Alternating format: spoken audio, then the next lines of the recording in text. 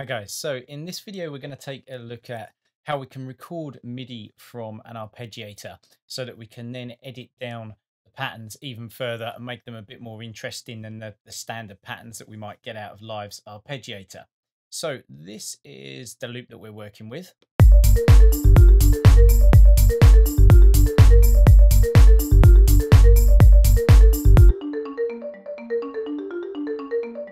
So here's our arpeggiated pattern. We've got a simple chord in here. It's just a G minor chord. And that is then getting fed through a chord MIDI device and then the arpeggiator. So very, very simple stuff going on at the moment. 16th note pattern. And I could, of course, come in and start modulating different parameters in the ARP to get some changes and some interesting stuff going on. But it can be a bit hit and miss. And I much prefer instead to record the MIDI and then I can edit that down further. So very simple to do. Open up a new MIDI track and you want to look at your MIDI from box. If you can't see this, Command I will show hide your inputs. And we're just literally going to take the MIDI from the track containing our arpeggiator. So in this case, it's the marimba sound.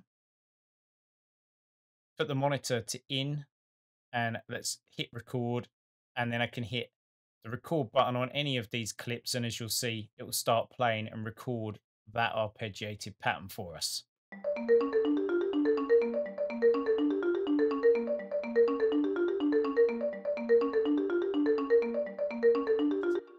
by using the stop button here, that's going to mean that live will stop recording tightly in sync with our global quantize, which we've currently got set to one bar. So when I press that, you can see I've now got a perfect four bar loop, which is ideal. And I can take this. This is now going to be our ARP. And I'll take the original chords and I'll just deactivate those with a zero button. This is Live 9, by the way. You could right click and select deactivate if you're still working in Live 8. And so now we've actually got our ARP pattern. And of course, I don't need the chord or the ARP MIDI devices anymore because I've already recorded their output. So we should have exactly the same sound again.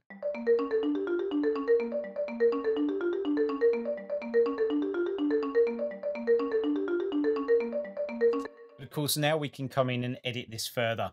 And you can do anything that you want with this. I mean, it could be as simple as just coming in and, I don't know, let's say we grab this note, just do something at the end of the, the second bar here to get uh, a little change up going on. I'll just leave it at that so you can get the idea.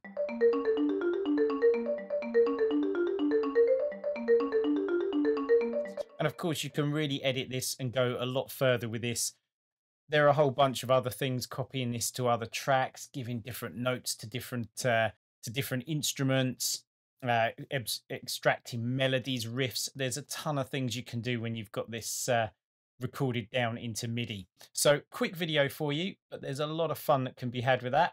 Hope you enjoy it. Hope you found it useful. Take care